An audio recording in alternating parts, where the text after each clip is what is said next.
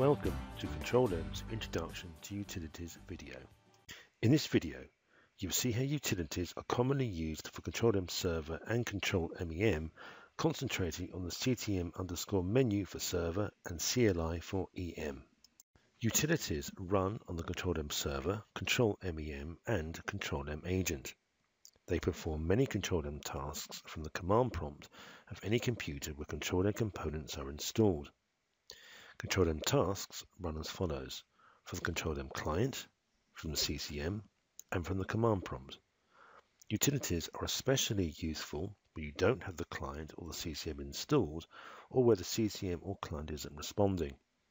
They are used for anything from defining and ordering jobs to communication, maintenance and security. You can also include a utility command in the command line of a job definition so you can run automatically the utility at a predetermined time under predetermined set of conditions.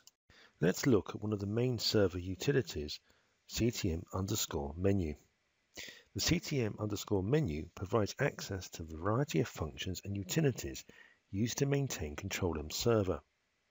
Most of these options can be accessed via the CCM or by using separate utilities but it's a useful and quick way of accessing a number of utilities in one place. To run utility, go to where Control-M server is installed and from the command line type ctm underscore menu and press enter. You now see a list of eight options. Let's look briefly at some of the options. If we want to stop, start and check Control-M server database, Control-M server and Control-M server configuration, let's type 1 and press enter. You will see the options in the Control-M Manager menu. If we want to check everything's working okay, let's type 1, press enter, and then you'll see the results below. Now, let's look at the database menu, option number 2. The database menu is split as the Management, Maintenance and Report. Management deals with management of the server database, such as start, stop, build database and archive.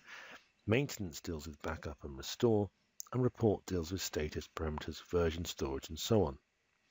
Note the options vary as to whether you're using MS SQL, Postgres, or Oracle.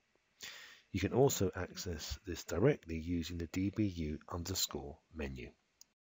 Let's take a look at the parameter customization menu, option number 4. This enables you to view and edit communication parameters. You should note that some utilities can be accessed directly using the ctmsys utility. Let's say we want to change the new day time. From the Parameter Customization menu, select 3 System Parameters and Shout Destination Tables, and then 2 System Parameters. Let's change the new day time from plus 0600 to plus 700 hours. Type 1 then type plus 0700, enter, and then save. You will now see that new day time has now changed. Now, let's take a look at a Control-M/EM utility. In this example, we're going to look at the CLI utility, which makes various modifications to job definitions in the Control-M/EM database, such as ordering and forcing jobs, folders, calendars, and so on. We want to order today, the 22nd of June, a job called test underscore job 999, which is in the test FLD 12 folder in the Control-M/EM database. Note, the folder must be checked in to the Control-M/EM database and the folder and job names have to be exact, otherwise the utility will fail. You can see that we are in the default bin folder because we are running this from where the client is installed. But if you have the full installation, you do not necessarily need to be in this directory. You will see that we've typed the following.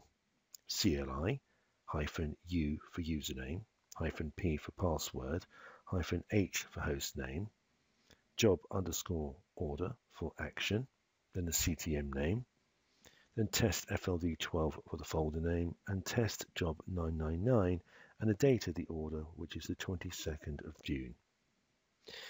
Press enter, and then you'll see confirmation that the job has been ordered.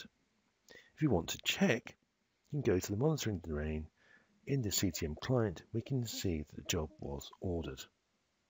In this video, we have only touched upon briefly two utilities. For more information, see the online help, where the utilities are split as to subject, and then server, EM, and agent where applicable. This now concludes the video.